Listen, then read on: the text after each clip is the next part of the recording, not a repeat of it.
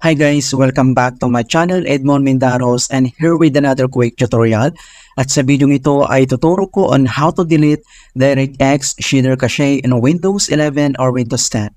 A quick info about DirectX shader cache. It is a cache system for storing shaders that can help improve the performance and responsiveness of apps, games, and programs. This folder contains files created by the graphic system. It can lower the amount of time that an image or video needs to take to render on the screen. So, how to delete? So, dito lang sa start menu, so click mo lang yan. And then dito sa searching bar, ay search lang natin yung desk cleanup. Alright? And then click mo lang tong open. Then ito na siya mga kaibigan. So ito yung desk cleanup natin. And then next, kailangan mo lang i-click tong box na to na DirectX Shader Cache. So click mo lang yan. And then click mo tong OK. And then click mo tong delete files. And then wait natin.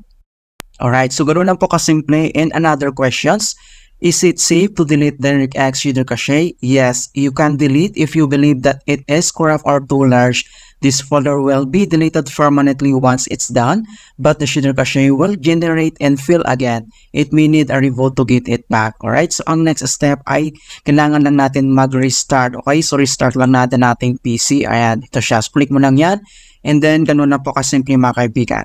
Alright, so please don't forget to like this video and subscribe to my channel for more helpful tutorials and tips. And if you have any questions or suggestions, please leave them in the comment below. Thank you guys and see you in my next tutorial.